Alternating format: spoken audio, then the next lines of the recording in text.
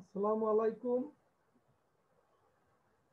MBA ব্যবস্থাপনা বিভাগের শেষ বর্ষের ছাত্রীদের উদ্দেশ্যে বলছি, ছাত্রীরা তোমরা যে যেখানে আছো, হয়তো ভালো আছো। আমরা আজকে তোমাদের সাথে ট্রেনিং অ্যান্ড ডেভেলপমেন্ট কোর্সের উপরে ক্লাস করব। ট্রেনিং অ্যান্ড ডেভেলপমেন্টের ইতিপূর্বে যে ক্লাসগুলো করেছি, সেখানে আমি তোমাদেরকে বিভিন্ন বিষয় নিয়ে আলোচনা করেছি এবং ট্রেনিং অ্যান্ড ডেভেলপমেন্টের ষষ্ঠ অধ্যায়, গত ক্লাসে আমরা আলোচনা, গত ক্লাস পর্যন্ত আলোচনা শেষ করেছি। আজকে ইনশাল্লাহ সপ্তম অধ্যায় নিয়ে আলোচনা করব। তবে আজকের তোমরা আমার এই স্লাইড দেখতেছো, যেমন এমবিএ ব্যবস্থাপনা বিভাগ training and development course code হলো একত্রিশ, ছাব্বিশ, এগারো।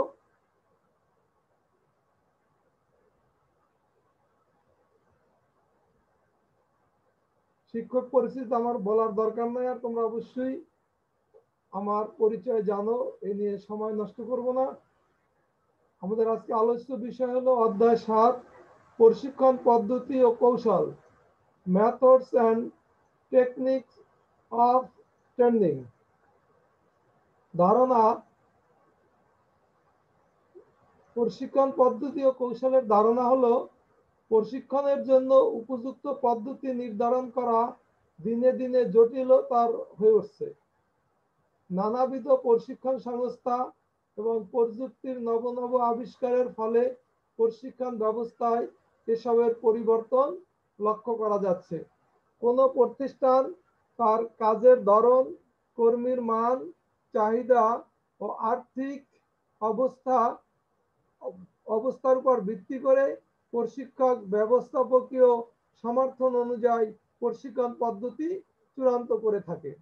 আবার একবার প্রদত্ত প্রশিক্ষণ পদ্ধতি যদি প্রতিষ্ঠানের কাছে আশানুরূপ না হয়, সেটি সব দিক থেকে উপযোগী এমন পদ্ধতি বেছে না নিতে পারলেও পরবর্তীতে আশানুরূপ করার জন্য সব দিক থেকে উপযুক্ত পদ্ধতিটিকে বেছে নিতে হয়। সাধারণত প্রশিক্ষণ প্রদানের বিভিন্ন পদ্ধতি এবং তাদের সুবিধা, অসুবিধা নিয়ে আলোকপাত করতে হয়। আবার অনেক উত্তম প্রশিক্ষণ পদ্ধতি প্রাতিষ্ঠানিক বিভিন্ন অসামর্থ্যের কারণে, অপারগতার কারণে একটি পদ্ধতি থেকে পিছিয়ে আসতেও পারে। অর্থাৎ প্রশিক্ষণের জন্য যে পদ্ধতি দরকার, তা প্রতিষ্ঠানের আর্থিক অসুবিধার জন্য পিছিয়েও অনেক সময় প্রতিষ্ঠান আসে। মূল কথা হলো প্রশিক্ষণ পদ্ধতি ও কৌশল প্রতিষ্ঠান, তাদের আর্থ সামাজিক অবস্থা, আর্থিক অবস্থা, উৎপাদনের ধরন, কর্মীদের মান ইত্যাদির উপর নির্ভর করে থাকে। তাই সময়ের পরিবর্তনের সাথে সাথে প্রশিক্ষণ পদ্ধতিও পরিবর্তিত হয়। আমরা এক সময় আন্তর্জাতিক বিশ্বের সাথে যতটা যোগাযোগ রক্ষা করে উৎপাদন কার্য চালাতাম, তার চেয়ে এখন বর্তমানে আধুনিক বিশ্বে এই বিশ্বায়নের যুগে, তথ্য প্রযুক্তির যুগে সারা বিশ্ব প্রায় একই রকম এবং সারা বিশ্ব এখন হাতের মুঠোয়। তুমি নিমেষেই সারা বিশ্বের সব খবরাখবর নিতে পারো। উৎপাদনের ক্ষেত্রে এই বিশ্বায়নের যুগে প্রতিযোগিতায় টিকে থাকতে হলে প্রশিক্ষণ পদ্ধতি বা প্রশিক্ষণের কৌশল সময়ের সাথে তাল মিলিয়ে এবং সময়ের চাহিদায়, যুগের চাহিদায়, উৎপাদনের চাহিদার উপরে ভিত্তি করে এই কৌশল পরিবর্তন করতে হয়। তাই সময় পরিবর্তনের সাথে সাথে প্রশিক্ষণ পদ্ধতিও পরিবর্তিত হচ্ছে। কোন প্রশিক্ষণ পদ্ধতির সবল বা সফলতা বা দূর ব্যর্থতা দিক সম্পর্কে পরিপূর্ণভাবে জানার মাধ্যমে সেটা গ্রহণ বা বর্জন করতে হয়। এ কারণেই প্রশিক্ষণের সকল পদ্ধতি সম্পর্কে জানা এবং উপযুক্ত পদ্ধতি নির্ধারণ করা অত্যন্ত গুরুত্বপূর্ণ। আমি আশা করি মেয়েরা আমার আলোচনা থেকে বুঝতে পেরেছ। এখন আমরা কোন প্রতিষ্ঠানের কোন কোন পদ্ধতি তার কর্মী প্রশিক্ষিত করবে তা নির্ভর করে ওই প্রতিষ্ঠানের সাংস্কৃতিক, আর্থিক সঙ্গ, আর্থিক সঙ্গতি, কর্মীদের প্রত্যাশা ও ক্ষমতা ব্যবস্থাপক ব্যবস্থাপকীয় নীতি এবং উপকরণের সাহস প্রাপ্যতা প্রভৃতির উপর। একটা প্রতিষ্ঠানের কর্মীদের প্রশিক্ষিত করতে, করে তুলতে হলে সে প্রতিষ্ঠানের কোন পদ্ধতি কর্মীদের জন্য ব্যবহার করা হবে, সে প্রতিষ্ঠানের সাংস্কৃতিক, আর্থিক সঙ্গতি, কর্মীদের প্রত্যাশা ও ক্ষমতা ব্যবস্থাপকীয় নীতি, উপকরণের সহজ প্রাপ্যতা প্রগতির উপর নির্ভর করে। এ সকল বিষয় বিবেচনায় নিয়ে কোনো প্রতিষ্ঠান তার জন্য যেটি সর্বোত্তম বলে বিবেচনা করে, সে পদ্ধতিতে সে প্রশিক্ষণ প্রদানের চেষ্টা করে এবং লক্ষ্য অর্জনে সচেষ্ট হয়। তাহলে আমরা এই প্রশিক্ষণের কৌশল বা পদ্ধতির ধারণা থেকে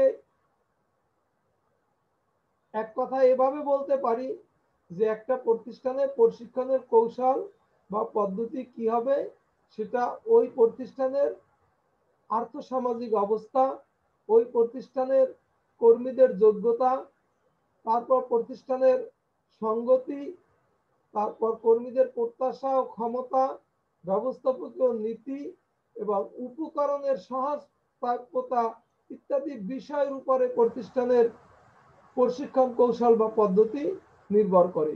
এগুলো বিচার বিবেচনা করে একটা প্রতিষ্ঠান, তার জন্য তার উৎপাদনের জন্য তার উৎপাদনের সাথে অন্যান্য উপকরণাদির সামঞ্জস্য রেখে এবং লক্ষ্যমাত্রার উপর ভিত্তি করে প্রতিষ্ঠানে কর্মরত কর্মীদের জন্য কি ধরনের প্রশিক্ষণের ব্যবস্থা নিলে সর্বোত্তম বলে মনে হবে বা বিবেচনা করবে, সে পদ্ধতি প্রশিক্ষণ প্রদানের চেষ্টা করা হয় এবং লক্ষ্য অর্জনেও প্রতিষ্ঠান সচেষ্ট হয়। এরপর আমরা আসি প্রশিক্ষণের বিভিন্ন পদ্ধতি। প্রশিক্ষণের সাধারণত different type of training methods সাধারণত দুইটা পদ্ধতি ব্যবহার করা হয়, কার্য সংশ্লিষ্ট প্রশিক্ষণ এবং সংগঠিত প্রক্রিয়া। কার্য সংশ্লিষ্ট প্রশিক্ষণ হলো, কার্য সংশ্লিষ্ট প্রশিক্ষণ হলো নিজস্ব কার্য পরিবেশ থেকে নিজস্ব কার্য নিজস্ব কার্য পরিবেশ থেকে দক্ষতা অর্জনের চেষ্টা করা। এই ধরনের প্রশিক্ষণ পদ্ধতি একজন শিক্ষানবী সাধারণত মৌখিক, লিখিত তারপর প্রদর্শন এবং বাস্তব প্রয়োগিক জ্ঞানের মাধ্যমে দক্ষতা অর্জন করে থাকে। কার্য সংশ্লিষ্ট প্রশিক্ষণ হলো নিজস্ব কর্ম পরিবেশ থেকে দক্ষতা অর্জন করা। এরকম পরিবেশে একজন কর্মী তার নিজস্ব দক্ষতা, তারপর মৌখিক মৌখিক, লিখিত, তারপর বিভিন্ন প্রদর্শনী এবং প্রয়োগিক জ্ঞানের দক্ষতা অর্জন করে থাকে। অর্থাৎ কাজের মাধ্যমে সে প্রশিক্ষিত হয়। সেটা নিজস্ব প্রতিষ্ঠানে হতে পারে অথবা একই ধরনের প্রতিষ্ঠানের যেখানে আধুনিক কলাকৌশল বেশি ব্যবহার করা হয়। একই উৎপাদনের সাথে ভিন্ন ভিন্ন উপকরণ আদি বা বিভিন্ন কলা কৌশলের মাধ্যমে যখন উৎপাদন কার্য চালানো হয়, সেহেতু প্রতিযোগিতার বাজারে টিকে থাকার জন্য উন্নতর প্রযুক্তি আনয়নের জন্য, নিজেদের কর্মীদেরকে দক্ষ করে তোলার জন্য নিজস্ব কর্ম পরিবেশে অথবা সমধর্মীয় উৎপাদনের প্রক্রিয়ায় যারা কাজ চালিয়ে যাচ্ছে, তাদের প্রতিষ্ঠান থেকে এই ট্রেনিং কার্য সংশ্লিষ্ট প্রশিক্ষণ গ্রহণ করা যেতে পারে। এজন্য অনেক সময় দেখা যায় যে বিভিন্ন দক্ষতা অর্জনের জন্য দেশীয় কর্মীদেরকে বিদেশেও প্রশিক্ষণের জন্য পাঠানো হয়ে থাকে। এর উদ্দেশ্য থাকে নিজস্ব নিজস্ব বিদেশ থেকে প্রশিক্ষণ গ্রহণ করে এসে নিজস্ব কর্ম পরিবেশে তার অধস্থানদের যেন কাজ শিখাতে পারে এবং উৎপাদনের ক্ষেত্রে ভালো ভূমিকা রাখতে পারে। এরপর আসো সংগঠিত প্রক্রিয়া। সংগঠিত প্রক্রিয়া হলো এ প্রক্রিয়ায় একজন শিক্ষানবিশ, একজন অভিজ্ঞ কর্মকার অভিজ্ঞ কর্মীর তত্ত্বাবধান থেকে কাজ শেখে। সংগঠিত প্রক্রিয়া হলো এ প্রক্রিয়া একজন শিক্ষানবিশ একজন অভিজ্ঞ তত্ত্বাবধায়কের অধীনে থেকে কাজ শেখে। অভিজ্ঞ কর্মী প্রশিক্ষণার্থীর ভুল ত্রুটি ধরিয়ে দেন এবং সংশোধনের ব্যবস্থা করে দেন। এভাবে ভুল করতে করতে নূতন কর্মীটি অভিজ্ঞ হয়ে ওঠে এবং উৎপাদনশীল হতে শুরু করে। এই অবস্থায় অসংগঠিত প্রক্রিয়ায় সংগঠিত সংগঠিত প্রক্রিয়ার মাধ্যমে কাজ করতে পারা এই প্রক্রিয়ায় একজন শিক্ষানবিশ, একজন অভিজ্ঞ প্রশিক্ষকের অধীনে থাকে, সে কাজ করতে থাকে, কাজে ভুল করে ভুল করে আবার ভুল ত্রুটি সংশোধন করে সে নূতন কাজও করতে পারে। এগুলো সংগঠিত প্রক্রিয়া। আরেকটা প্রক্রিয়া আছে অসংগঠিত প্রক্রিয়া। কার্য সংশ্লিষ্ট অসংগঠিত প্রক্রিয়ায় সাধারণত একজন শিক্ষানবিশ কোনো অভিজ্ঞ কর্মীর নিকট থেকে পরিপূর্ণ ধারণা থেকে বঞ্চিত থাকে। প্রদত্ত যন্ত্রপাতি ব্যবহার এর মাধ্যমে নিজেই এটা শেখার চেষ্টা করে। সে অনেক সময় নতুন নতুন পদ্ধতির মাধ্যমে প্রশিক্ষণার্থীকে অভিজ্ঞতা দেওয়ার চেষ্টা করে। কার্য সংশ্লিষ্ট প্রশিক্ষণের ধারাবাহিকতা প্রক্রিয়াটি হলো যে কীভাবে কাজটি করতে হবে তা প্রদর্শন, গুরুত্বপূর্ণ পয়েন্টগুলি পুনরায় বর্ণনা সম্পূর্ণ কাজটি পুনরায় প্রদর্শন, কর্মীদেরকে কাজের সহজ অংশটি করতে বলা, সম্পূর্ণ কাজটি করতে কর্মীদেরকে সাহায্য করা, যার যার কাজ তাকে নিজ নিজ, নিজে নিজে করতে বলা এবং দেখা, কর্মীর উপর সম্পূর্ণ কাজের বারর্পণ অর্থাৎ কীভাবে কাজটি করতে হবে তা প্রদর্শন করা, গুরুত্বপূর্ণ পয়েন্টগুলি পুনরায় বর্ণনা করা সম্পূর্ণ কাজটি পুনরায় প্রদর্শন করা এবং কর্মীদেরকে কাজের সহজ অংশটি করতে বলা। সম্পূর্ণ কাজটি করতে কর্মীদেরকে সাহায্য করা। যার যার কাজ তাকে নিজে নিজে করতে বলা বা দেখা।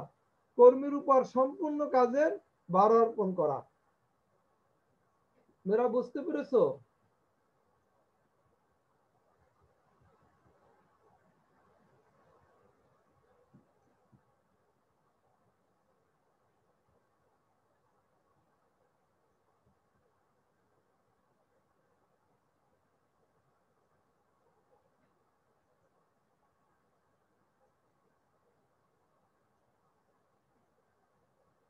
এরপর আসো কার্য বহির্ভূত প্রশিক্ষণ। কার্য বহির্ভূত প্রশিক্ষণ কীরকম?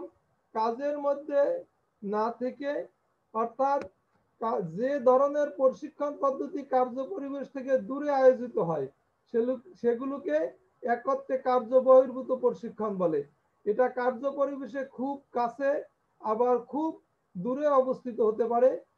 বিশেষভাবে প্রস্তুতকৃত একটি জায়গা যেখানে কিছু নষ্ট হওয়া বা অন্য কারও বিরতির সম্ভাবনা নেই, অন্য কার সমস্যার সম্ভাবনা নেই, এমন স্থানে শিক্ষানবিশের নিয়ে কাজ কার্য বহির্ভূত প্রশিক্ষণ আয়োজন করা হয়।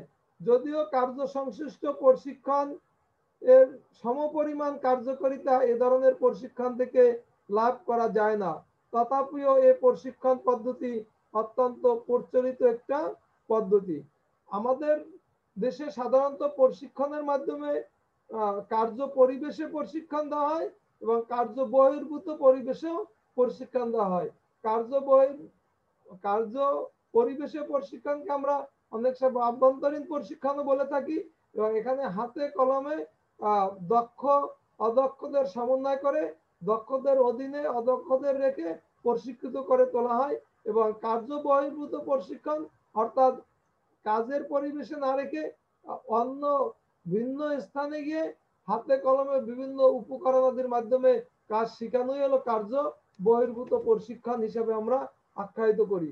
কার্য বহির্ভূত প্রশিক্ষণের ক্ষেত্রে সাধারণত প্রকৃত কাজের স্থানের বাইরে কৃত্রিম স্থানে প্রশিক্ষণ করা হয়, প্রাতিষ্ঠানিক শিক্ষার পরিবেশে শিক্ষা গ্রহণ করা হয়, উৎপাদনের সঙ্গে সরাসরি কোনো সম্পৃক্ততা থাকে না অধিক কর্মী একত্রে প্রশিক্ষণের ক্ষেত্রে উপযুক্ত পদ্ধতি এটা। তার উৎপাদনের সাথে সম্পৃক্ত নয় বলে প্রশিক্ষণ খরচ বৃদ্ধি পায়। স্বাভাবিক কার্য পরিবেশ ব্যাহত না করে প্রশিক্ষণ প্রদান করে। ক্লাসরুম, কোচিং, আলোচনা প্রভৃতির মাধ্যমে প্রশিক্ষণ দেওয়া হয়। ব্যবস্থাপকীয় প্রশিক্ষণের জন্য উপযুক্ত পদ্ধতি। অভিজ্ঞ কর্মীর বিরক্তি বা কাজের ব্যাঘাতের সম্ভাবনা থাকে না। প্রশিক্ষণ চলাকালে উৎপাদনের অপচয় বা নষ্ট হবার সম্ভাবনা কম থাকে।